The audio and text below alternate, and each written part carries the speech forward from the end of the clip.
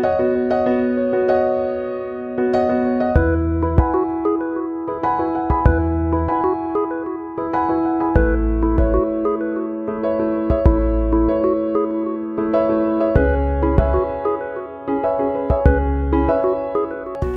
I'm late. I am Julia Smith, your court-appointed lawyer. Hey, I'm Elliot Blackburn. Nice to meet you, Mr. Blackburn. Um, uh, he tagged a wall, and it's a very small misdemeanor. I'm sure the judge could drop the charges. Yeah, I think so. How's that sound? Yeah, sure. Yeah, sounds great.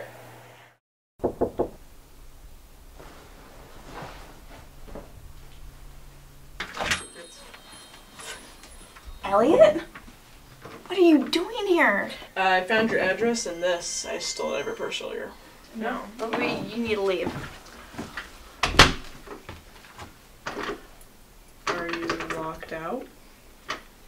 Yes, unfortunately. But I'll call a locksmith, and it'll be fine. You can come stay at my place. I would rather sleep in the gutter. Okay. Well, the offer's still out there. Good night, Miss Smith.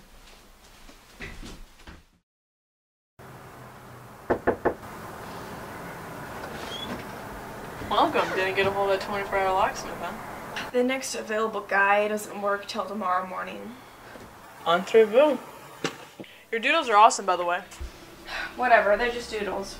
The doodles I make aren't art. You make amazing art on the computer. I just use it for work.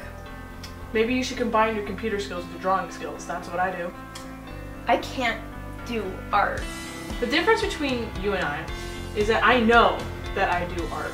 I do it every day. It makes me happy. You you're awesome at this. This is not art.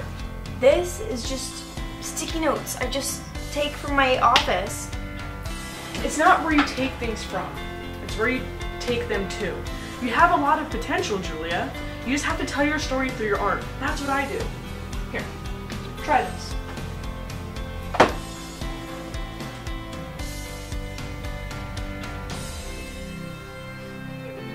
This is kind of fun. Elliot. Elliot, wake up. Look what I drew. wow. It's just like drawing on sticky notes. It's just a different form of art.